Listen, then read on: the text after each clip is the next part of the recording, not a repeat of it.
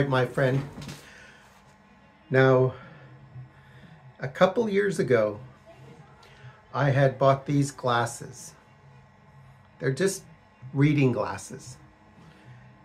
They're not prescription, but they do help me with looking at the tiny text on the uh, cell phone.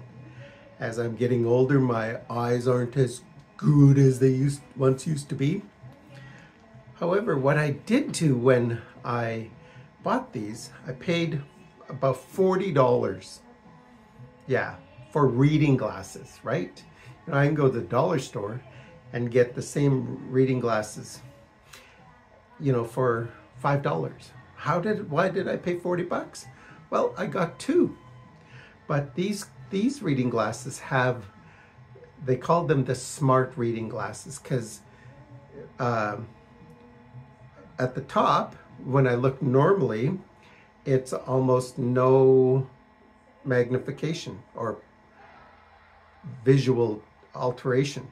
But underneath, uh, there is magnif times 2.5 or something. Like, I'm going to show you. Yeah, 2.5.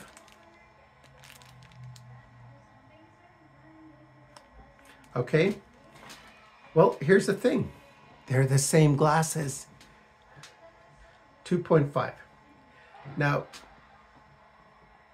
these are the so I bought these about two years ago, maybe a little bit longer. But these ones, the, the lens is getting kind of uh, scratched up. And I'm thinking, you know what? I'm going to make this the backup.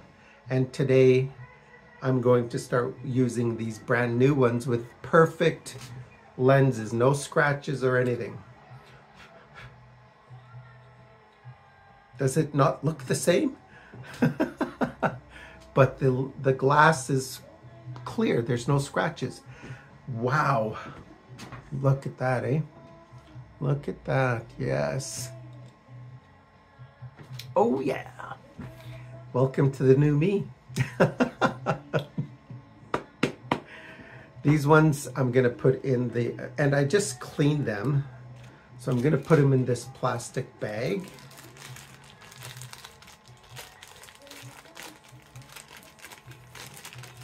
And I'm to put it in this plastic, this hold glass holder pouch thingy.